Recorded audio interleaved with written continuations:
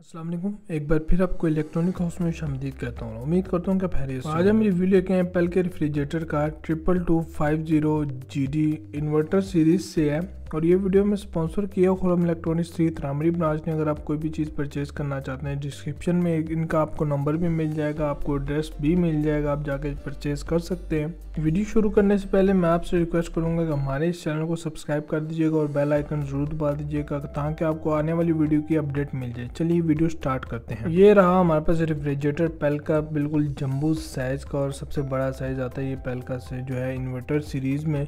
और अगर ये बात की जाए, हमने सिंपल का रिव्यू डाला हुआ चलो हमने कहा जो इन्वर्टर है, वो भी रिव्यू डाल दें, कुछ ही फ़र्क है, लेकिन ये है कि हमने कहा चलो इन्वर्टर का भी रिव्यू डाल देते हैं। और अगर इसकी बॉडी की बात की जाए करीब लेके चलता हूँ, बिल्कुल सामने फ्रंट पे आपको जो है इन्वर्टर टेक्नोलॉजी का जो है लिखा हुआ मिल जाएगा, और ऊपर वाली साइड पे आपको पेल का लोगो मिल जाएगा, जो कि इनका नाम ही लोगो चलता है, और साइड वाली साइड पे जो है आपको एक जम्बू साइज़ सेंटर पे जो है स्टिकर लगा हुआ है, और ऊपर जो है ten years compressor warranty brand आपको जो है इसकी चीज़ की वारंटी नहीं देता। है और अगर कलर की बात की जाए, जो है ब्लैक कलर है और जो है ऊपर जो है इसके अंदर पर्पल कलर की जो है डिज़ाइनिंग हुई है, बहुत ही प्यारा जो है डिज़ाइन बना हुआ है और वो बहुत ही अच्छी लुक देता है आपको। नीचे आप देख सकते हैं, वैसे आप इसके अंदर अपने आप को भी देख सकते हैं।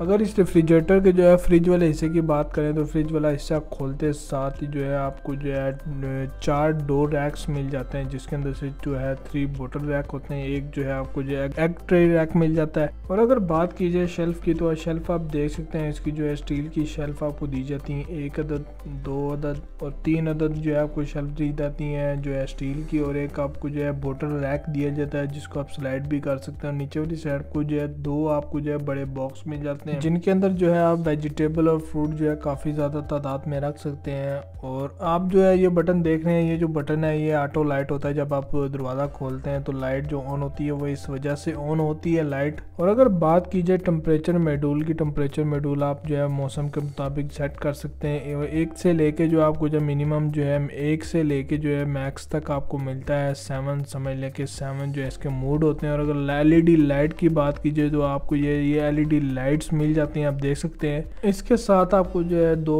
अदर जो है एक ट्रे रैक मिल जाते हैं, जो कि बहुत ही प्रीमियर लुक आपको देते हैं। आप देख सकते हैं कि चूर रेफ्रिजरेटर में जो है ट्रे रैक इस तरह के नहीं मिलेंगे। और रबड़ क्वालिटी की बात की जाए, जिसकी वजह से जो है रेफ्रिजरेटर एयर टाइट होता है, वो आप देख सकते हैं वेरी गुड क्वालिटी और अगर बात की जाए ऊपर वाले हिस्से की जो जिसको फ्रीज़र के आप कहते हैं फ्रीज़र वाला हिस्सा खोलते साथ ही जो है आपको तीन जो है आपको डोर रैक्स मिल जाते हैं, जिसके अंदर आप कुछ भी चीज़ें रख सकते हैं और आपको जो है दो अदद जो है आइस क्यूब ट्रेज मिल जाती हैं, आप देख सकते हैं और एक अदद आपको जो है ये स्क्रैपर मिल जाता है, जिसकी मदद से आप जो है ऊपर वाले हिस्से में अगर बर्फ़ जम जाए तो इसकी मदद से आप जो है बर्फ़ हटाएँ। अगर आप छुरी, कांटा या कोई भी चीज़ इस्तेमाल करेंगे, जो शीट है फट जाएगी, फिर जो है उसकी वजह से कंपनी जो है इसकी वारंटी क्लेम नहीं करता उसे इसकी वारंटी नहीं होती है। एक अदद आपको जो इसके अंदर वारंटी कार्ड मिल जाता है। और आपको गाइड मैनुअल भी मिल जाता है, जो कि कोई भी नहीं पढ़ता। और वारंटी कार्ड के ऊपर जो है बार कोड स्कैनर के थ्रू जो है आप मॉडल नंबर वगैरह देख सकते हैं। और मॉडल नंबर और सीरीज़ वगैरह लिखी होती हैं, आप देख सकते हैं। और अगर रैक्स की बात की जाए अंदर वाले तो आप देख सकते हैं इसके अंदर अगेन आपको जो है थ्री जो है स्टील रैक मिल जाते हैं। और ये था हमारा full review